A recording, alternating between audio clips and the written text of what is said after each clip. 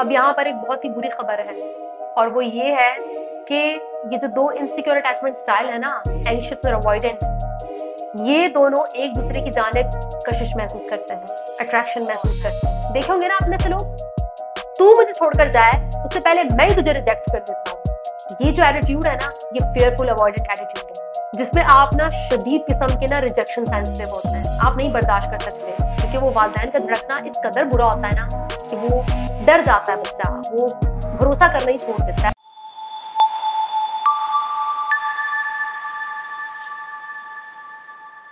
दोस्तों, जिस तरह से आप लोग को अपना शनाख्ती कार्ड नंबर और अपना ब्लड ग्रुप पता है ना, वैसे ही आप लोग को अटैचमेंट स्टाइल भी पता होना चाहिए अपना। जी हाँ बहुत ज़रूरी है अटैचमेंट स्टाइल को पता करना। अटैचमेंट स्टाइल होता क्या है? वैसे तो चार किस्म के होते हैं जिनको आगे चलकर मैं एक्सप्लेन करूँगी। अटैचमेंट क्या होती है दोस्तों? जब कोई बच्चा दुनिया में आता है ना तो वो अपने घर में, अपने वालदेन के साथ जब रहता है तो ये जो अटैचमेंट है ना, यही उसे महफूज फील करवाती सिक्योर फील करवाती है। और वहीं पर वो सीखता है, दुनिया के बारे में, लोगों के बारे में, दूसरे इंसानों के साथ किस तरह से इंटरेक्ट करना है रिलेशनशिप क्या होते हैं, कैसे कम्युनिकेट किया जाता है, कैसे प्रॉब्लम्स को सॉल्व किया जाता है कैसे दुनिया के मुतालिक क्या सोचना है आपने? दुनिया क्या है? किस किस्म की जगह है? ये सारी चीज़ें आप अपने वालदेन से सीखते हैं, अपने माहौल से सीखते हैं, अपने कल्चर से सीखते हैं, जो कि आगे चलकर आपका अटैचमेंट स्टाइल बन जाता है। आपका अटैचमेंट स्टाइल ही बताता है कि आप दुनिया के साथ, लोगों के साथ, आपके फ्रेंड्स कलीग्स वालदेन, आपका जो रोमांटिक पार्टनर है, चाहे वो गर्लफ्रेंड बॉयफ्रेंड है या चाहे वो आपकी बीवी है या शोहर है, आप उसके साथ कैसे इंटरेक्ट करते हैं? किस तरह से कम्युनिकेट करते हैं, कैसे अपनी ज़रूरियात का इजहार करते हैं और कैसे उसकी ज़रूरियात को समझने की कोशिश करते हैं, उसके जज्बात को समझने की कोशिश करते हैं, ये सारी चीज़ें अटैचमेंट पर ही डिपेंडेंट होती हैं, आपके अटैचमेंट स्टाइल पर।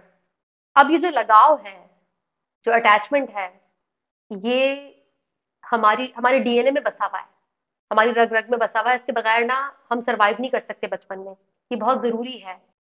वैसे तो ये अटैचमेंट वाली जो थ्योरी है, ये जॉन बॉबी ने दी है लेकिन ये सिर्फ़ जॉन बॉल्बी के कारनामे नहीं है। अगर हम कदीम फलसफा पढ़े ना, कदीम हिंदुज़म बुद्धिज़्म को पढ़े तो हमें पता चलता है कि वहाँ पर बहुत सारा मवाद, बहुत सारा कंटेंट ना अटैचमेंट यानी कि लगाव पर मौजूद है। जो पुराने लोग हैं, उन्होंने भी अपने तरीके से, अपनी समझ के हिसाब से लगाव यानी कि अटैचमेंट पर बहुत सारा मवाद लिखा है, समझा है और उस पर डिस्कशन भी हुई है। लेकिन इस वीडियो में और मॉडर्न वर्ल्ड में हम इसे साइकोलॉजी की जबान में समझेंगे आज। जो मॉडर्न साइकोलॉजी है, उसकी नज़र से अटैचमेंट को समझेंगे और अटैचमेंट स्टाइल्स को समझेंगे। सबसे पहला अटैचमेंट स्टाइल है एंशियस अटैचमेंट स्टाइल जिन लोगों में ये वाला स्टाइल जन्म लेता है ना, उनके जो वालदेन होते हैं, उनके जो केयर गिवर्स होते हैं, वो अनरिस्पॉन्सिव होते हैं। यानी कि अगर बच्चा अपनी ज़रूरियात का इजहार कर रहा है, अपनी इमोशनल नीड्स का या फ़िज़िकल नीड्स का तो ये जो वालदेन होते हैं, ये बहुत जल्दी से रिस्पॉन्स नहीं करते। क्योंकि बहुत मुमकिन है कि वालदेन या तो खुद ट्रॉमा से गुजरे हों या जहनी तौर पर बीमार हो या फिर फिजिकली बीमार हो और बच्चे की केयर वैसे ना कर पा रहे हो, जैसे कि उन्हें करनी चाहिए। तो ऐसे में जो बच्चा है ना, वो ये समझ लेता है कि भाई, मुझे अगर अपने वालदेन से कोई काम निकलवाना है या मुझे उनकी तवज्जा चाहिए तो उसके लिए मुझे ना बहुत सारी अदाकारियाँ करनी होगी, बहुत टेंट्रम्स दिखाने होंगे, बहुत शोर मचाना होगा। और उन्हें मजबूर करना होगा, रो रो कर चिल्ला कर, गुस्सा करके, कुछ भी करके कि वो मेरी तरफ़ देखें, आए और मेरी ज़रूरत को पूरा करें। वो बच्चे जो ना वालदेन की तवज्जा बहुत ज़्यादा शैतानियाँ करके या बहुत मज़ाक करके, फन करके लेते हैं, या फिर वो बच्चे जो वालदेन की तवज्जा ना चीज़ें ख़राब करके या शोर मचा के गुस्सा दिखा के लेते हैं तो वो बच्चे एंशियस होते हैं अमूमन। उनका जो स्टाइल है ना, वो काफ़ी एंशियस होता है। अब जो बच्चा है, वो बचपन में ना वालदेन की तवज्जो हासिल करने के लिए ना बहुत सारी स्ट्रेटजी सीख लेता है। उसको पता होता है कि मैंने कब क्या, कैसे पुश करना है, मैंने किस तरह से चीखना चिल्लाना है, या कैसे ना रिएक्ट करना है कि मेरे जो वालदेन है वो आए और मेरी तरफ़ तवज्जा दें। ये अमूमन वो बच्चे होते हैं, जब ये बड़े हो जाते हैं ना तो इनको बात बात पर वैलिडेशन चाहिए, कि बात बात पर पूछते हैं, सब सही तो है ना? मैं सही तो लग रहा हूँ ना? मैं अच्छा लग रहा हूँ ना? मैं अच्छी लग रही हूँ ना? मैंने ठीक बोला ना? आप लोग को पसंद तो आया ना? आप लोग खुश तो है ना? ये वो बच्चे हैं जिनको बार बार आपको वैलिडेट करना होता है। बार बार आपको तस्दीक करनी होती है कि हाँ भाई, तुम अच्छे हो, तुम सही हो, तुम इस काबिल हो। क्योंकि इनका जो दुनिया को देखने का नज़रिया होता है ना, वो होता है कि I am not okay you're okay कि मैं ठीक नहीं हूँ मेरे साथ कोई मसला है। इनकी सेल्फ एस्टीम का भी बहुत इश्यू होता है। ये अपने आप को बहुत जज करते हैं, अपने बारे में काफ़ी मनफी सोचते हैं। और दूसरों के बारे में ना, बहुत अच्छा सोचते हैं, बड़ा आइडियलाइज करते हैं और अपनी जो इमोशनल नीड्स हैं उसको दूसरों से पूरा करने की कोशिश करते हैं, जिसका मतलब क्या है? इसका मतलब ये है कि ये वो लोग हैं, जिनको अपने इमोशंस को अकेले बैठ कर प्रोसेस करना नहीं आता। ये को रेगुलेशन पर चलते हैं।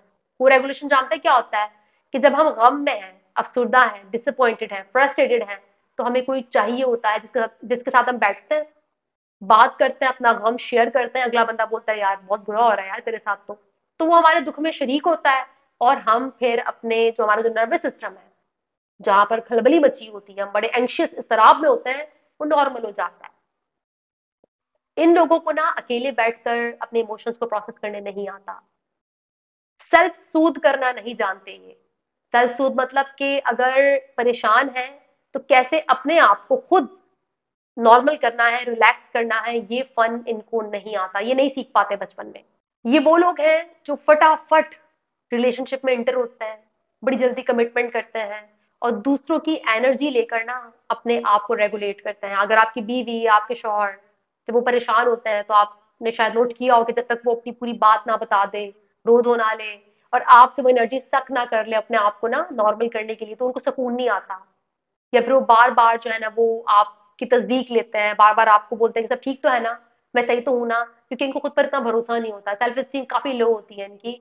तो यही वजह है कि इनको एंशियस कहा जाता है, ये एंशियस है। जितने भी अटेंशन सीकर्स हैं, जो बच्चे, बहुत ज़्यादा अटेंशन सीकर्स होते हैं ना, और जो बड़े होकर भी अटेंशन सीकर्स होते हैं, तवज्जा को खींचने वाले, हर स्ट्रेटजी अपना के तवज्जा को खींचने वाले, वो बच्चे दरअसल एंशियस ही होते हैं। एंशियस लोग जो होते हैं ना, ये बहुत परफेक्शनिस्ट होते हैं। ये कहते हैं कि भाई, मैं अगर अपने ऊपर बहुत ज़्यादा वर्क करूँगा, काम करूँगा, और मैं बड़ा अमेजिंग हो जाऊँगा तो ही मेरा पार्टनर मुझे तवज्जा देगा, पसंद करेगा तो ही मेरी जरूरियात पूरी होंगी। वरना मैं अपनी जरूरियात का इजहार नहीं कर सकता इससे। और अगर इनका पार्टनर इनकी जरूरियात तभी पूरी नहीं करता या इनको तवज्जा नहीं देता या इनकी बात नहीं सुनता या को रेगुलेट नहीं करता इनके साथ तो ये फिर झगड़े का इस्तेमाल करते हैं। बहुत झगड़ते हैं। बहुत ज़्यादा चीज़ें चिल्लाते हैं फाइट्स बहुत करते हैं। क्योंकि इनके जहन में ये चल रहा होता ना कि यार चलो झगड़ा करके ही सही, लेकिन इस बंदे ने मेरी बात तो सुनी अटेंशन तो दी। मुझे वो अटेंशन तो मिली जो मैं चाह रहा हूँ या चाह रही हूँ।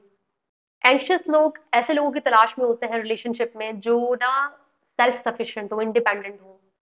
एक एंशियस लड़की दूसरे एंशियस लड़के की तरफ़ कभी भी अट्रैक्ट नहीं होती। एंशियस लड़की हमेशा उस लड़की की जानब अट्रैक्ट होगी या एंशियस लड़का हमेशा उस लड़की की जानब अट्रैक्ट होगा जो इंडिपेंडेंट है सेल्फ सफिशियंट है। क्योंकि एंशियस खुद ही इतना जरूरतमंद है, खुद ही इतना डिपेंडेंट है कि अगर दूसरा एंशियस बंदा जब वो देखता है ना कि यार ये भी मेरी तरह है तो वो एकदम से ना बिल्कुल अट्रैक्ट नहीं होता उसकी तरफ़।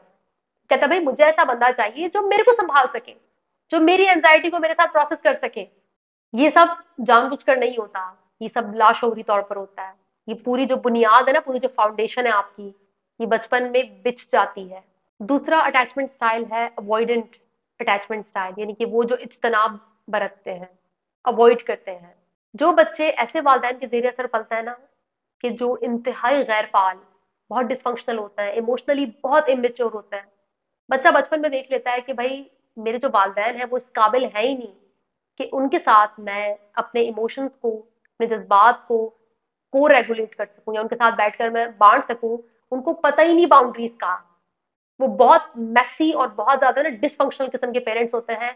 तो ऐसे जो बच्चे होते हैं ना, वो अवॉइडेंट हो जाते हैं। वो सेल्फ सूद एंशियस को रेगुलेट पर चलते हैं, यानी कि दूसरों के साथ बैठकर अपने इमोशंस को प्रोसेस करते हैं। जबकि अवॉइडेंट यानी कि इज्तनाब बरतने वाले लोग जो होते हैं ना, वो अकेले अपने ऊपर डिपेंडेंट होते हैं, क्योंकि वालदेन तो इस काबिल होते नहीं कि उन पर डिपेंडेंट हुआ जाए। यही वजह है कि ये सीख लेते हैं कि कैसे अपने आप के साथ रहना है, कैसे अपने इमोशंस को खुद प्रोसेस करना है। एंशियस लोग अगर ओवर एक्टिव हैं रिलेशनशिप में तो अवॉइडेंट लोग जो होता है ना, ये बिल्कुल डीएक्टिवेट रहता है। रिलेशनशिप से इनको बहुत चिड़ होती है कमिटमेंट से इनको चिड़ होती है कि बहुत डीपली इन्वॉल्व नहीं होते रिलेशनशिप्स में, क्योंकि इनको डर लगता है कि इनके वालदेन की तरह इनका पार्टनर भी कहीं बहुत मैसी ना हो, कहीं बहुत ज़्यादा डिसफंक्शनल ना हो। और ये रिलेशनशिप की जो डिमांड्स होती है ना, क्योंकि रोमांटिक रिलेशनशिप में बहुत डिमांड्स होती हैं और ये उनसे बहुत चिढ़ते हैं, बहुत डरते हैं। इनको ना इंटीमेसी यानी कि जो करीब आने का होता है ना खौफ होता है। फेयर ऑफ़ इंटीमेसी जिसे बोलते हैं, ये किसी भी इंसान के बहुत करीब आने से बहुत डरते हैं। अवॉइडेंट लोग बहुत ज़्यादा स्ट्रॉन्ग बाउंड्रीज बनाते हैं। इनके गिर्द जो इनकी हदूद होती है ना, वो बहुत ही मोटी ईंटों की बनी होती हैं। उसके पार किसी और का आना आसान नहीं होता। लेकिन वो जो बाउंड्रीज है, वो हेल्दी नहीं होती। वो जो उन्होंने बनाई होती ना, वो रिप्रेशन की बुनियाद पर है। यानी कि उनके जो जज्बात हैं, उनका जो बचपन में जो भी जिस चीज़ से वो गुजरे, वो सब उन्होंने दबाया हुआ होता है। डिनाइल में रहते हैं, इनकार करते हैं। जब भी थेरेपी में ऐसे लोग आते हैं, मैं उनसे कहती हूँ कि कैसा था बचपन, क्या हुआ? सब सही था एवरीथिंग इज़ फाइन सब कुछ ठीक था एवरीथिंग वॉज़ फाइन लेकिन जब बहुत सेशंस में हम डीप जाते हैं ना तो पता चलता है कि कुछ भी फाइन नहीं था, कुछ भी ठीक नहीं था, बहुत गड़बड़ थी.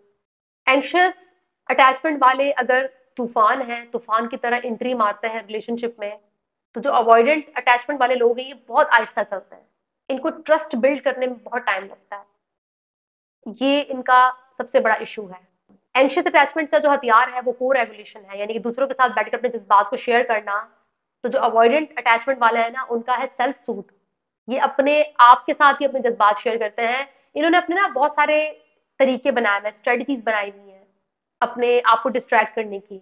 बहुत ज़्यादा गेम्स खेलना या टीवी देखना या कुछ भी करना, वहाँ जहाँ पर इनको किसी की ज़रूरत ना हो, बल्कि ये खुद ही अपना टाइम पास करते रहे, अकेले बैठकर। ये वो लोग होते हैं ना, जो अपने बारे में तो बहुत अच्छा सोचते हैं। इनको लगता है ये बड़े मिच्योर हैं लाइफ को फिगर आउट करके बैठे हुए हैं। और दूसरों के बारे में ये बहुत बुरा सोचते हैं, मनफी सोचते हैं कि दूसरे लोग बहुत इमेच्योर हैं, या दूसरे लोग बहुत डिमांडिंग हैं। इनका जो फॉर्मूला है ना लाइफ का वो ये है कि I am okay you are not okay मैं तो सेट हूँ भाई, तुम सेट नहीं हो। जबकि एंशियस क्या बोलते हैं?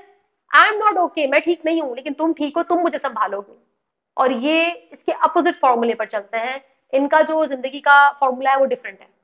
एंशियस अटैचमेंट वाले अगर बोलना मन नहीं करते ना, और बोलते रहते हैं, उनको रोकना मुश्किल है तो जो अवॉइडेंट अटैचमेंट वाले हैं ना, वो कम्युनिकेट नहीं कर सकते अपने जज्बात को, बिल्कुल नहीं कर सकते। आप कुछ भी कर लें, बस सुनते रहेंगे। या अवॉइड करेंगे, या भागेंगे वहाँ से कॉन्फ्लिक्ट फेस नहीं करेंगे, भाग जाएँगे वहाँ से। कम्युनिकेट करना आता ही नहीं, इनको पता ही नहीं है। लाशौरी तौर पर अनकॉन्शियसली इनको पता ही नहीं है कि भाई ये ऑप्शन भी है, अगर लाइफ में कुछ मसला है, कुछ प्रॉब्लम है तो साथ बैठकर बात की जा सकती है। और एंशियस वालों को ये पता ही नहीं है कि अगर मसला है तो हर मसला किसी के पास लेकर नहीं जाया जाता, बल्कि कुछ मसलों को बैठकर अपने साथ हल करना होता है। अब यहाँ पर एक बहुत ही बुरी खबर है, और वो ये है कि ये जो दो इनसिक्योर अटैचमेंट स्टाइल है ना एंशियस और अवॉइडेंट ये दोनों एक दूसरे की जानब कशिश महसूस करते हैं अट्रैक्शन महसूस करते हैं। इन दोनों का मिलाप इन दोनों का जो मिलन है ना, वो बहुत ही बेढंगा और बेहुदा होता है। पुश और पुल का एक डांस है। खींचना और धकेलना। बस यही चल रहा होता है इनके रिलेशनशिप में और अफसोस की बात है कि ये अट्रैक्ट ही एक दूसरे को करते हैं। जहाँ पर एंशियस होगा, उसकी नज़र सिर्फ़ अवॉइडेंट बंदे पर जाएगी कि हाँ ये है। ये बंदा बहुत चिल है काम है। इसने लगता है सब कुछ सॉर्ट आउट किया। भाई, यही मेरी सारी जरूरतें पूरी कर सकता है। यही मुझे सुन सकता है। इसी के साथ बैठकर मैं अपने आप को रेगुलेट कर सकता हूँ। क्योंकि जब भी आप किसी के साथ रोमांटिक रिलेशनशिप में जाते हैं ना, अगर तो आपका इनसिक्योर अटैचमेंट स्टाइल है, यानी कि आप एंशियस हैं और अवॉइडेंट हैं तो आप ना इस बुनियाद पर किसी को पसंद नहीं करते कि वो बहुत ही अमेजिंग बंदा है, क्या बेहतरीन इंसान है, क्या नजरियात है उसके। बल्कि जो चीज़ आपको अनकॉन्शियसली लाशोरी तौर पर उसकी जानब खींचती है ना, वो है फेमिलियरिटी वाकफियत। हम इंसान फेमिलियरिटी को पसंद करते हैं, वाकफियत को पसंद करते हैं, जहाँ पर हमारे नर्वस सिस्टम को पता लगता है कि ये बंदा मेस्ड अप है हमारी तरह। जैसे हम एफ़ अप फैमिली से आए हैं, जैसे हम एक डिसफंक्शनल गैर फाल फैमिली से है, वैसे ये भी है। दोनों मिलके धमाल मचाएँगे, दोनों मिलके जो है ना वो एक दूसरे को गालियाँ देंगे और यही वजह है कि ये एक दूसरे की तरफ़ बहुत ज़्यादा अट्रैक्ट होता है। तो गौर कीजिए कि अगर आप किसी की तरफ़ बहुत ज़्यादा कशिश महसूस कर रहे हैं ना तो ज़रूरी नहीं है कि वो प्यार हो जेनवन प्यार हो, बहुत मुमकिन है कि वो वाकफियत यानी कि फेमिलियरिटी हो। कि वो जो टॉक्सिक पैटर्न है, जो टॉक्सिक रिलेशनशिप है, वो जो एक म्यूचुअल वूंड है ना, दोनों ही ट्रामेटाइज है और यही वजह है कि आप उसकी जाने बहुत ज़्यादा अट्रैक्शन महसूस कर रहे हैं। क्योंकि सेम टॉक्सिक पैटर्न है सेम टॉक्सिक बिहेवियर है, जो अनकॉन्शियसली आपका जो नर्वस सिस्टम है ना, वो डिटेक्ट कर रहा है और अट्रैक्ट हो रहा है। क्योंकि आपका नर्वस सिस्टम कहता है कि भाई यही है, यही तो बचपन से देखा है हमने, यही तो मोहब्बत है, अम्मी अबू भी ऐसे ही थे। बिल्कुल सही जगह आए हम परफेक्ट है ये बंदा तुम्हारे लिए। लेकिन दरअसल वो टॉक्सिसिटी होती है, वो जो है ना आप कहीं नहीं पहुँच रहे होते रिलेशनशिप में। तीसरा अटैचमेंट स्टाइल है सिक्योर अटैचमेंट स्टाइल जी हाँ ये हम सबका आइडियल अटैचमेंट स्टाइल है, हम सबकी यही कोशिश होती है कि हम इसे अचीव करें अपनी ज़िंदगी में। और अगर आपकी वालदेन गैर फाल थे इनसिक्योर थे तो आप भी यकीन इनसिक्योर ही होंगे, लेकिन इसका ये मतलब नहीं है कि आप अपना अटैचमेंट स्टाइल चेंज नहीं कर सकते। जब आप अपनी ज़िंदगी में पैटर्न्स को नोट कर लेते हैं ना आपको पता चल जाता है कि कुछ गड़बड़ है तो फिर वहाँ से आप शुरुआत कर सकते हैं अपने अटैचमेंट स्टाइल को सिक्योर करने की, उसे महफूज करने की। जिन लोगों का अटैचमेंट स्टाइल सिक्योर होता है ना तो ऐसा नहीं कि वो बड़े सुपरमैन या सुपर वुमेन होते हैं। ये वो लोग होते हैं जो ऐसी फैमिलीज़ में पैदा होता है ना कि जहाँ पर ऐसा माहौल होता है कि इनका जो नर्वस सिस्टम है ना, वो रिलैक्स रहता है। Anxious attachment style avoidant attachment style इनके नर्वस सिस्टम रिलैक्स नहीं रह सकते। एक बहुत ज़्यादा इमोशंस से भरा हुआ है तो दूसरा इमोशंस को बहुत ज़्यादा दबा कर बैठा हुआ है। दोनों ही न्यूरोटिक एनर्जी के जेर असर है।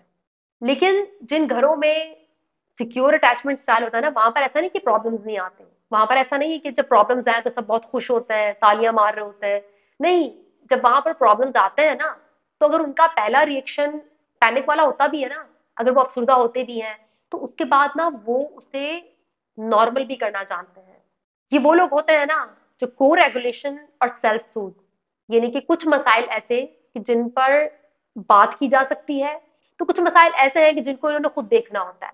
कुछ इमोशंस ऐसे हैं कि जिन्हें दूसरों के साथ शेयर करना बहुत ज़रूरी है कम्युनिकेट करना बहुत ज़रूरी है, लेकिन कुछ इमोशंस ऐसे हैं कि जिन्हें खुद प्रोसेस करना पड़ेगा और ये दोनों को जानते हैं।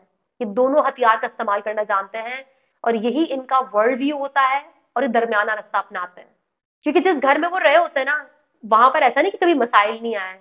वहाँ पर बाहर ही बाहर थी गार्डन ही गार्डन था।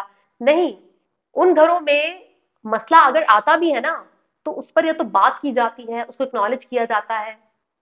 पैनिक किया भी जाए ना तो भी उसका सोल्यूशन बाद में निकाला जाता है। तो जब घर का ऐसा माहौल होता है ना, कि जहाँ पर स्टेबिलिटी होती है सिक्योरिटी होती है तो उस जगह पर जो बच्चा होता है ना छोटा, उसका नर्वस सिस्टम रिलैक्स रहना सीख लेता है।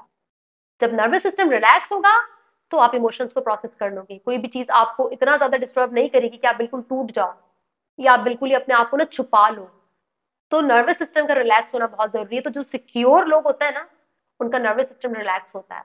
और जो एंशियस से अवॉइडेंट होते हैं, उनका नर्वस सिस्टम रिलैक्स्ड नहीं रहता। अवॉइडेंट और एंशियस दोनों ही सिक्योर अटैचमेंट वालों की तरफ़ कभी भी कशिश महसूस नहीं करते।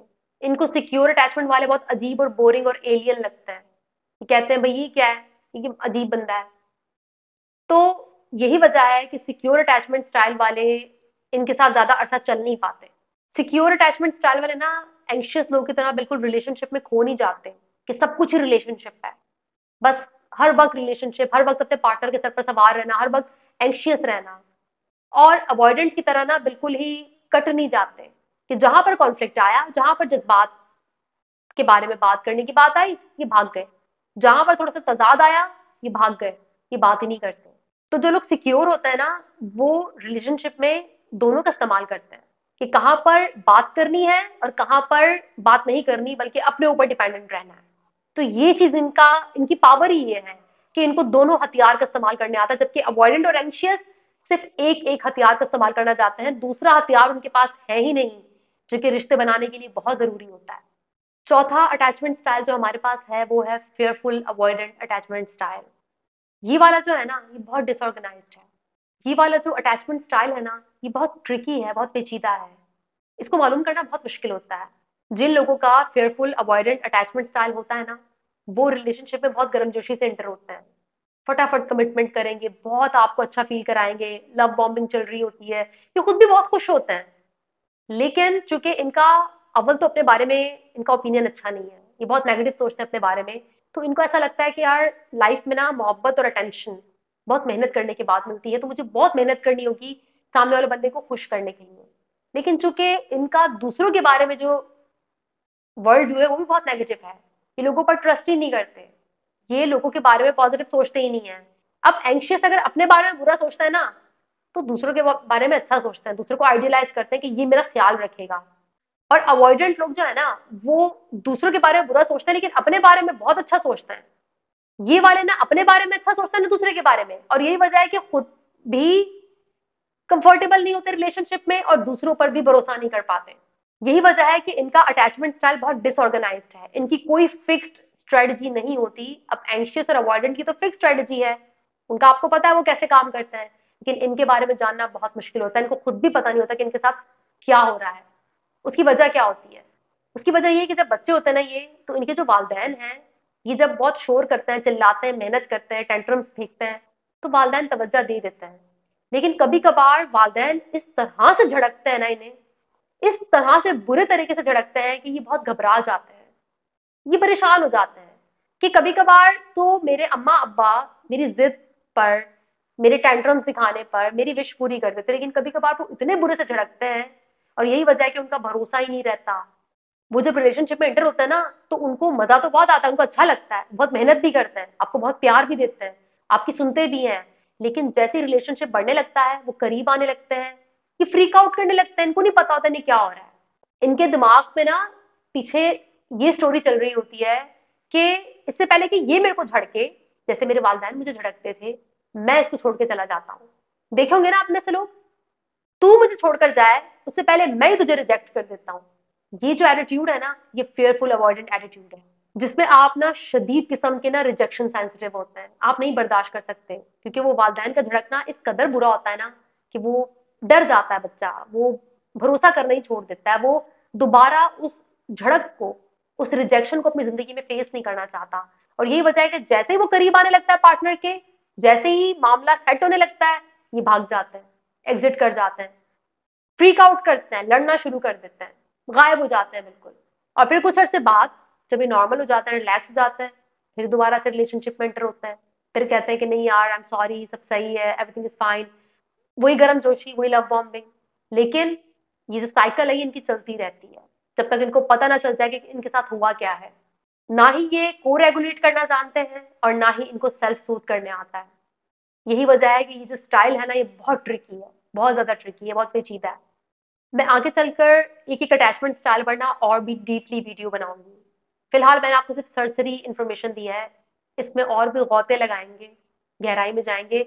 लेकिन अगर मैं एक एक लाइन में सजेशन देना चाहूँ ना, इन तीन अटैचमेंट स्टाइल को जो कि इनसिक्योर हैं एंशियस अटैचमेंट स्टाइल के लिए मेरी सजेशन मेरी तजवीज़ ये होगी कि जो लोग बहुत ज़्यादा शराब में होते हैं एंशियस होते हैं और दूसरों पर सब कुछ फेंकते हैं, दूसरों के साथ रेगुलेट करते हैं अपने इमोशंस को, उन्हें चाहिए कि वो थोड़ा चिल करना सीखें सेल्फ सूथ सीखें, अकेले बैठकर अपने इमोशंस को प्रोसेस करना सीखें। वो लोग जो अवॉइडेंट हैं, जो बिल्कुल ही किसी से बात नहीं करते अपने जज्बात के बारे में, सब कुछ दबाए रखते हैं और सेल्फ सूथ पर डिपेंडेंट होते हैं, यानी कि अपने आप को डिस्ट्रैक्ट करते हैं, अपनी ही एक अलग दुनिया बनाए रखते हैं उन्हें चाहिए कि वो सीखें कि यार कुछ जज्बात कुछ चीज़ें अगर बहुत परेशान करें ना तो उन्हें दूसरों के साथ बैठकर शेयर किया जा सकता है। जो अवॉइडेंट uh, है उन्हें सेल्फ सूद की जगह को रेगुलेशन को भी हथियार बनाना सीखना होता है। दूसरों के साथ बैठे बात करें अपने जज्बात पर। जो कॉन्फ्लिक्ट्स हैं जो झगड़ा है जो मसला है उसे फेस करें। और जो फेयर ऑफ़ इंटीमेसी है ना आपको गुर्बत का जो खौफ है आपको इसको मिनिमाइज करने की कोशिश करें। फेयरफुल अवॉइडेंट अटैचमेंट स्टाइल वाले जो कि ना खुद पर भरोसा करते हैं, ना दूसरों पर, उनके लिए मैं यही कहूँगी कि पहले वो अपनी रिस्पेक्ट करना सीखें। उन्हें दूसरों को बहुत ज़्यादा खुश करने की, बहुत ज़्यादा गर्म जोशी की हर की ज़रूरत नहीं है। और जब वो उन्हें लगे उनके रिलेशनशिप में ऐसा फ़ेज़ आ गया है कि जब वो फ्रीक आउट कर रहे हैं, वो परेशान हो रहे हैं और उनसे ना बर्दाश्त नहीं हो रहा, वो उन्हें डर लग रहा है कि इससे पहले कि ये मुझे ना बोले, मैं ना बोल के चला जाऊँ, ताकि मुझे हर्ट ना हो तो ऐसा नहीं करना आपने। आपने कम्युनिकेट करना है कम्युनिकेशन एक हथियार है को रेगुलेशन भी तो होती है। आप बैठे, बात करें। आप अपने जज्बात की भी रिस्पेक्ट करें, अपने आप की भी रिस्पेक्ट करें, सामने वाले की भी रिस्पेक्ट करें कि उससे बात की जा सकती है, बिना उसको समझाए, बिना उससे कम्युनिकेट किए, उसको आधे रस्ते पर छोड़कर चले जाना और फिर कुछ अरसे बाद दोबारा एंट्री मारना, यार ये सही नहीं है। ये आपके लिए भी तकलीफ़ दे है, ये दूसरे बंदे के लिए भी तकलीफ़ दे तो इस पर गौर किया जा सकता है। वैसे तो ये अटैचमेंट स्टाइल बहुत डीप है, बहुत गहरे हैं। और इन पर इनशाला मैं आगे चलकर ज़रूर बात करूँगी। हर अटैचमेंट स्टाइल पर ना एक एक वीडियो बनेगी, जो कि सिर्फ़ उस एक खास अटैचमेंट स्टाइल के बारे में ना हम मजीद डेप्थ में जाएँगे। दोस्तों, ये सारे इनसिक्योर अटैचमेंट स्टाइल सिक्योर वाले को छोड़कर ट्रॉमा का प्रोडक्ट है। जी हाँ जिन घरों में ट्रॉमा होता है, वहाँ पर या तो बच्चा एंशियस हो जाता है, या अवॉइडेंट हो जाता है, या फिर फेयरफुल अवॉइडेंट हो जाता है। यही वजह है कि जब आप ट्रॉमा को हील करते हैं ना तो उसमें एक बहुत बड़ा पार्ट जो होता है ना एक बहुत बड़ा हिस्सा, वो इसे अटैचमेंट का है। इसी स्टाइल को आपने ठीक करना होता है, इसी को आपने बेहतर करना होता है। अभी जो लगाव है ना अटैचमेंट है, ये हमारी बुनियाद है। हम इंसान अटैचमेंट की मखलूक है, लगाव की मखलूक है। लगाव अगर नहीं हो तो हमारे लिए सरवाइव करना मुश्किल हो जाए, बल्कि नामुमकिन हो जाए। लेकिन यही लगाव, पीड़ा भी है, दर्द भी है। क्यों दर्द है? जब ये इनसिक्योर है। लगाव सिक्योर हो तो इतनी इतनी ज़्यादा जो है ना, वो दर्द नहीं देता आपको, इतना इतना पेन नहीं होता। लेकिन अगर लगाव यानी कि अटैचमेंट इनसिक्योर है तो फिर वो आपके लिए ना पीड़ा यानी कि दर्द का सबब बनता है। ऐसा नहीं है कि जो भी अटैचमेंट स्टाइल आपको बचपन में मिला, अब आपको उसी के साथ इस दुनिया फानी से कूच कर जाना है। बिल्कुल भी नहीं। जब आपको पता चले कि हाँ यार, गड़बड़ है इशू है, घर में ट्रॉमा था डिस्फंक्शन था मेरा घर, वालदेन मेरे फंक्शनल नहीं थे इतने इमोशनली फिजिकली तो वहाँ से फिर ना आप अपने अटैचमेंट स्टाइल को हील करना शुरू करते हैं। उसको सिक्योर करना शुरू करते हैं। ये मुमकिन है। और इस पर हम आगे चलकर बात करेंगे मजीद गहराई में। इनशाला नेक्स्ट वीडियो मुलाकात होगी। तब तक के लिए अपना बहुत ख्याल रखिएगा। Thank you so much